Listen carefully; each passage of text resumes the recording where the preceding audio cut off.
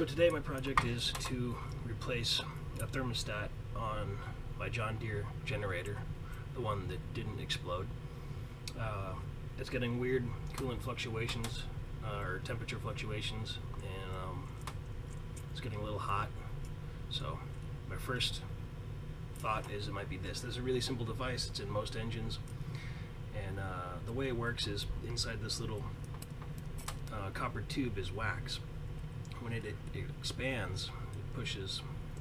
There's a little pin right here. It actually pushes this valve open that way. That's what the spring is to push it back closed. Um, we'll cut the old one open to look inside it and uh, maybe see what's wrong. Uh, but these are in everything.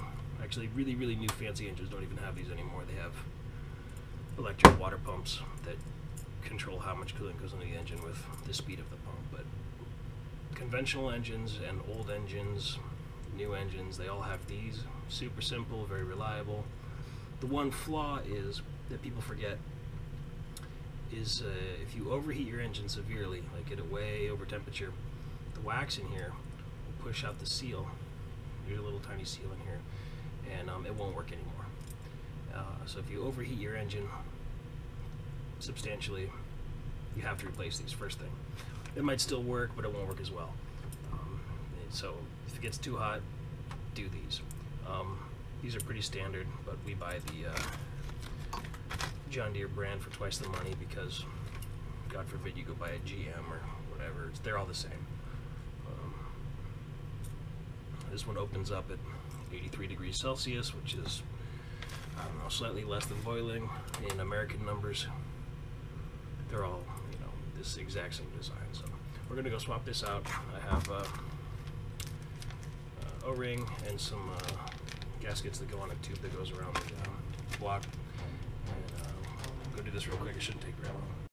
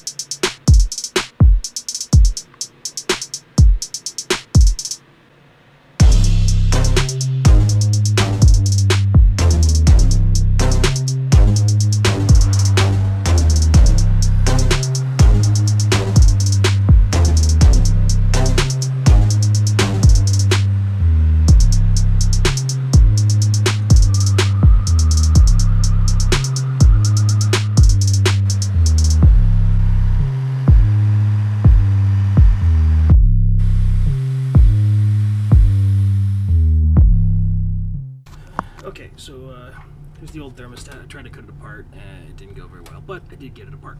Uh, so inside it is uh, this is the is this one's an older style, but it works the same. You've got a plunger that moves up and down. That's what the gasket's for, and uh, it starts here at the bottom, and as it expands, it moves like that. Allows water to. It's sealed up and as it moves, the water will go up through it. So, like this is sealing up a like a hole. All right, hot water is trying to go through, and it diverts one way. when this opens up, it closes one valve and then water comes in and through it the other direction. So it's like having a Y pipe. It selects which direction it wants to go. It wants to recirculate hot water or send the hot water to go and get cooled off. Now, this black stuff that leaked out of it is uh, the wax. It's some sort of high temperature wax. Um, that's the beauty of these things and their simplicity. Uh, no power or anything, so it all leaked out when I cut into it. So, pull this piece out. But you'd see kind of in there the little piston. I'm doing a bad job of showing this, but there's not a lot in there that does a little tiny bit that pushes this out. Because uh, fluid's incompressible, but it expands when it gets hot. So that's the idea: is that this turns into a liquid and it pushes this piston. Actually, I guess it pushes. Yeah, it pushes the piston this way against the spring. And moves this piece like that. So anyway, that's how these work. They're super simple. They're in everything. Big engines have big ones. Really big engines don't have really big ones. They just have lots of the, those bigger ones. There's uh, four of these things about the size of a soda can in the main engines up, up on top. And then there's another two for the aftercooler, same size, about the size of a soda can. But uh, that's it. This is a thermostat or a regulator, depending on uh, the manufacturer. They all do the same thing. They regulate the temperature. So that's it. That's all I have for today. あら。